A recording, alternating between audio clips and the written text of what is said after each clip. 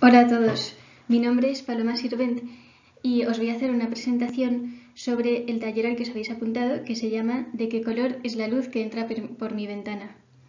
Este taller lo hemos preparado entre varias personas que somos Ana Guerrero, Eloy Asensio, Gloria Pérez y yo, que pertenecemos a un grupo de investigación del Instituto Eduardo Torroja de Ciencias de la Construcción y este instituto a su vez pertenece al Consejo Superior de Investigaciones Científicas, que a lo mejor lo conocéis por sus siglas, que son CSIC. Bueno, y antes de empezar, queríamos agradeceros que os hayáis apuntado a este taller y esperamos que os guste. Y como estamos en la Semana de la Ciencia, queríamos empezar definiendo qué es la ciencia. La ciencia, como sabréis, es el conjunto de conocimientos que nos ayudan a conocer y comprender el mundo que nos rodea. Y como los conocimientos del mundo son tantos, pues la ciencia está dividida en áreas. Por ejemplo, la medicina es la ciencia que estudia y que trata de conocer y comprender mejor el cuerpo humano. Por otro lado, otros científicos pues, estudian todo lo relativo al universo, el movimiento de los planetas, la evolución y localización de las estrellas. Otros estudian los materiales a nivel más profundo, llegando hasta los átomos, otros el magnetismo, la luz, y también hay un área de la ciencia que se dedica a estudiar los restos de los antepasados, que son los arqueólogos, que gracias a ellos conocemos, por ejemplo, la existencia de los dinosaurios. Y para todo esto, algo común a todos los científicos es que utilizan un método para investigar, que es el método científico, y es igual para todos. Este método, como su nombre indica, consiste en una serie de pasos, que son los que podéis ver en esta imagen, el primero es la observación. El segundo, hacerse preguntas sobre lo que observamos. El tercero, formular hipótesis. ¿Sabéis lo que son las hipótesis? Las hipótesis son suposiciones, eh, es decir, posibles soluciones a las preguntas que nos hacemos. El cuarto es la experimentación, que esta es la parte que se conoce más de los científicos, pero como vais a ver, no es lo único que hacemos. El quinto es eh, llegar a conclusiones a partir de los resultados de la experimentación. El sexto es el paso en el que se escriben todos los resultados que se han obtenido para comunicarlos al resto de los científicos y se comparan con los de los demás. Y el séptimo es llegar ya a los descubrimientos, ¿no? comunicarlos al mundo. Y además, si os fijáis, aquí no se cierra el círculo, sino que es una espiral, porque la investigación continúa, porque podemos seguir haciéndonos preguntas para conocer más y más en profundidad el mundo. Bueno, y ahora queríamos eh, poneros un ejemplo para entender eh, mejor este método. Y en el ejemplo veremos cómo el método científico lo utilizamos todos en el día a día. Imaginaos que un día por la mañana os vais a hacer una tostada y os dais cuenta de que vuestro pan no se tuesta. Estamos en el paso observación. Entonces os hacéis la pregunta, ¿por qué no se tuesta? Y a partir de esa pregunta pensáis y formuláis la hipótesis, que es lo que hablábamos antes, lo que suponéis que puede estar pasando.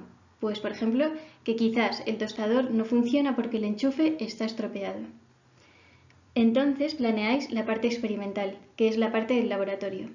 Voy a probar a conectar el tostador en otro enchufe y comprobaré si el pan se tuesta así. Entonces haces el experimento, conectas el tostador en otro enchufe y vuelves a intentar tostar el pan. Y en este punto observáis los resultados. En esta imagen se puede ver que podríais llegar a dos resultados distintos, que, darán lugar a dos conclusiones diferentes también. La primera opción es que el pan se tueste por fin. Entonces la hipótesis, vuestra suposición inicial, se confirmaría, es decir, que el enchufe estaba estropeado y la segunda opción es que no se haya tostado. Entonces, confirmaría la hipótesis, no se confirmaría la hipótesis y el problema sería, no, no parecería ser del enchufe, sería por otro motivo. ¿Cómo se continuaría entonces la espiral que veíamos antes? Pues haciéndonos más preguntas. En el primer caso, por ejemplo, preguntaríamos qué le pasará al primer enchufe, por qué no funcionaba. Y en el segundo, podríamos preguntar ¿Será que lo que está estropeado es el tostador? Bueno, pues así hemos completado todo el ciclo del método científico. Ahora vamos a centrarnos en el área de la ciencia que nos interesa hoy, que es la óptica. Como seguramente sabréis, la óptica es la rama de la ciencia que estudia la luz. Empezamos entonces preguntándonos de dónde viene la luz, cómo se origina. Pues la luz se origina a partir de dos fuentes, fuentes naturales, fuentes de luz naturales y fuentes de luz artificiales. Y estoy segura de que si os preguntase cuáles son las fuentes de luz naturales, enseguida me diríais, el sol. Efectivamente, pero hay otra también muy conocida, que es el fuego. Si os quedáis sin luz en casa, seguro que alguna vez habréis encendido una vela como luz, ¿no? ¿Y las artificiales cuáles son? Pues la luz eléctrica que obtenemos con bombillas, por supuesto, y encontramos en las farolas, lámparas. También hay bombillas más pequeñas, pero que dan mucha luz y que son de colores, que son las que llamamos bombillas LED eh, y se encuentran, por ejemplo, pues en el mando de, la televisión, en los semáforos. Y luego hay otras que a lo mejor os suenan por la Guerra de las Galaxias, que son las luces láser, bueno, que se utilizan para más cosas, ¿no? No solo para las espadas de las guerras de las galaxias. Vale, y ahora eh, pensaba que algunos os estaréis preguntando eh, que para qué sirve estudiar la óptica, ¿Para qué sirven todos estos estudios?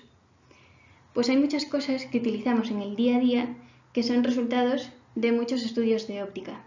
Las aplicaciones tecnológicas que llamamos. Por ejemplo, pues las operaciones con láser, las luces de la carretera que nos indican por dónde ir, las gafas, los telescopios. Todo esto lo tenemos gracias a muchos científicos que se han dedicado a estudiar sobre la luz. Además, la óptica también se utiliza en construcción, que es lo que estudiamos nosotros en concreto. La óptica en construcción se puede utilizar para fines estéticos o para fines energéticos. Los fines estéticos serían, por ejemplo, edificios con distintos colores, obtener distintos efectos ¿no? con los colores para que sean más vistosos.